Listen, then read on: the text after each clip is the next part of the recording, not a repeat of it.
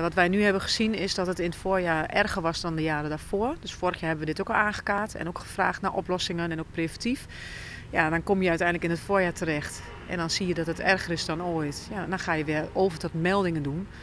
Ja, dat hebben wij gedaan. En op dat moment kon je ook niet meer doen dan dat. En in de hoop dat daar preventief iets mee ja, zou worden gedaan of uh, zou worden aangepakt. Jullie zeiden van ja, we zijn ermee naar de gemeente geweest. En uh, wat hebben jullie gedaan dan? Nou, in eerste instantie kom je dan uit bij Sportaal. Die, uh, die werkt natuurlijk vanuit opdrachten vanuit de gemeente. En de insteek is dat je daar vraagt om ja, help ons, kijk met ons mee en laten we gaan kijken naar een oplossing.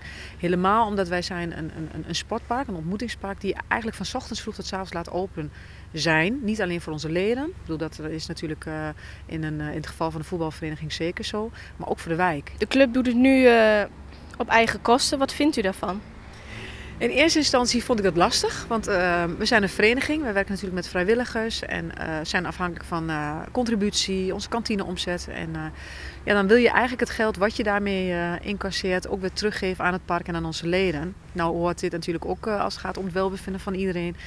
Maar ik had het graag anders besteed. Maar voor mij was de keuze makkelijk gemaakt, omdat op het moment dat je, dat je het niet voor elkaar krijgt op een andere manier, zijn er toch activiteiten die door moeten gaan. Dus alle bomen zijn, uh, zijn aan bod gekomen. Alleen uh, is het tot een bepaalde hoogte gebeurd.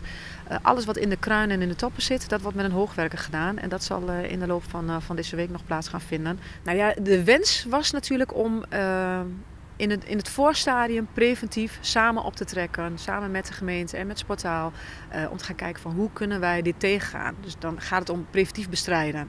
Dus in een voorstadium al de bomen behandelen, zodat het uiteindelijk uh, niet zo erg zou zijn als nu. Ja, dan had het, uh, had het wat makkelijker geweest. Dat had ik heel graag gezien. Ja, de petitie die is opgestart, ja, vond ik heel mooi. Vond ik ook echt wonderlijk dat dat dan uiteindelijk ook wordt opgepakt. Ook in de wijk. Uh, wijkbewoners hebben er zelf ook heel veel last van. Dus het gaat niet alleen maar om deze plek.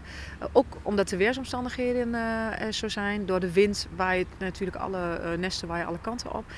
wij hebben het opgemerkt toen het net was opgestart. En toen heb ik opdracht gegeven om het uit te zetten op al onze kanalen.